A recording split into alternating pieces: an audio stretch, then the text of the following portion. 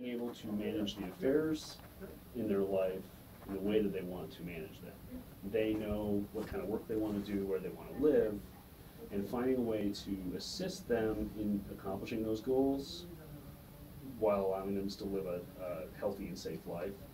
Um, so there's no need to put them in, in an institution if putting them in an apartment, you know, in the community and having uh, a nurse stop by once a day to help with medications. That's the better approach than placing them away somewhere else to receive like around the clock care that they don't need.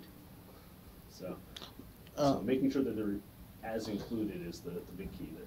You spoke of a systematic problem earlier Mhm. uh, with regards, but uh, what is being done about it to actually like uh, eliminate those uh, problems? One of the biggest things that was done was about 15 years, there was a Supreme Court decision um, called Olmstead. And the Olmstead decision literally said, in terms of legal work, that people receiving some types of services, usually uh, medical or like housing assistive services, need to receive those services in the least restrictive setting. That case led to the, basically, the, the- that ca- case led to states um, stopping with their institutionalization of people with intellectual disabilities. And that's been the, the biggest leap forward in terms of inclusion, inclusion. And then we had the ADA, which dealt with a lot of um, access issues like buses, ramps to getting into stores, things like that. Those were physical facility issues that were mostly kept. And they also made actual discrimination in employment against the law. Somebody saying, I'm not gonna hire you because you're in a wheelchair, I'm not gonna hire you because you're deaf. There's been laws put in place in the last twenty-five years. The ADA is twenty-five years old, Olmstead's fifteen or sixteen, right in that realm. And those are the big moves. Since then, in two thousand eight, the ADA was amended to make it more broad because courts interpreted the original ADA in, a- in a, in a way that was more restrictive than they were, than the legislation intended it to be. So they made it broader to make it, uh, more protective of people with disabilities. But, um, there's only so much you can do with the law itself. In order to make society more inclusive, you need to let everybody know just how capable people with disabilities are and not to make these baseline assumptions. Um, people, people make assumptions about other people for millions of reasons, like accent, um, weight, disability. People always want to assume they know about other people. Hi there. Excuse me, did he just pop in? He here, did. City? Okay. Am I interrupting you guys, or are you, are you somewhere you're supposed to be? Um, no. Were you here earlier today? Yes. Okay. And you don't have an appointment? Can I ask? Can I not ask questions? Okay. I have a number that I can refer you to for the DC bar where you can communicate with somebody. This isn't the venue to typically do this unless he wants to do this with you. Sorry, I thought you were one of our summer interns. Is he not, uh, not a No. bar employee? No. I'm not a bar employee, but I'm here to inquire about disability rights. though. Okay. Well, I'll give you my card then, because it seems like you're not supposed to be in here. I'll give you my card, and you can always give me a call or shoot me an email, Okay. and that's probably the better way to do it. So So that's me. You can always shoot me an email, and I can answer specific questions, but yeah, you can't be just wandering in. Well, I was hoping that someone, uh, because I've previously spoke about disability rights in this country as it relates to equal treatment.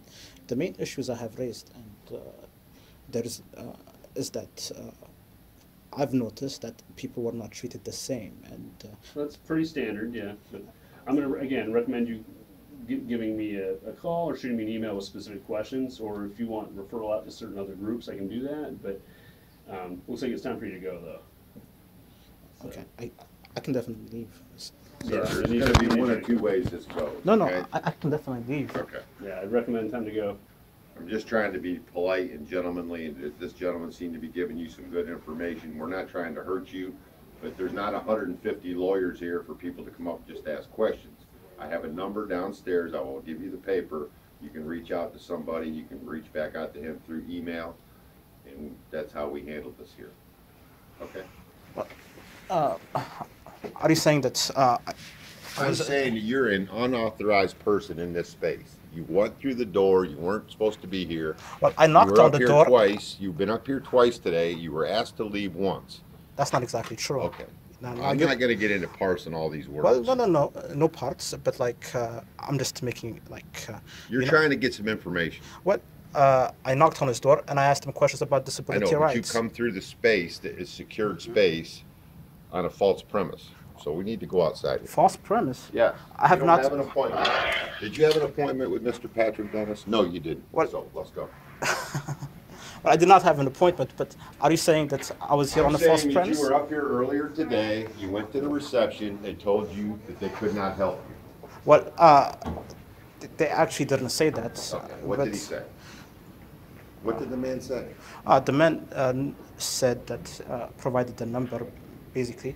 I basically wanted to talk to someone about the rule of law Well, and the the Constitution. he gave you, And I also wanted to talk to to someone with the bar with regards to disability rights.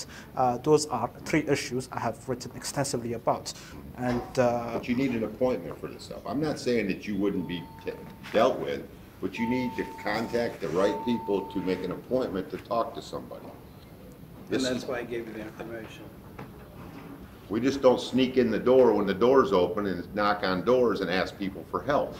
Well, uh, I never asked for help. I asked him, asked him, first of all, like, I think we should be clear. I asked him more about the law.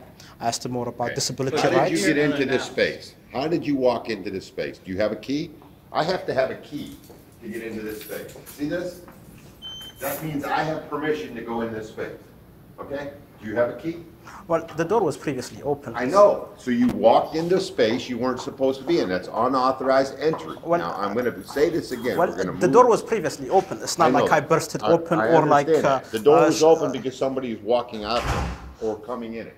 We're, we're going downstairs. You don't have an appointment here. I'll give you a number where you can make an appointment. This gentleman was nice enough to give you his card. You're filming me. I don't care. It doesn't matter okay? It doesn't Well, because. I, otherwise you cannot. No, no, because property. because you cannot say that. I, for example, I property. bursted. I bursted through the door, or Okay, that it's I private committed. property. Let's go. You cannot say I bursted through the door or committed any act that was illegal. You Can you can you can, can you say that though? You were at Can you say door that? earlier. You were at this door Can you say that I didn't bursted through the door and committed an illegal activity? You were in a space when unauthorized entry.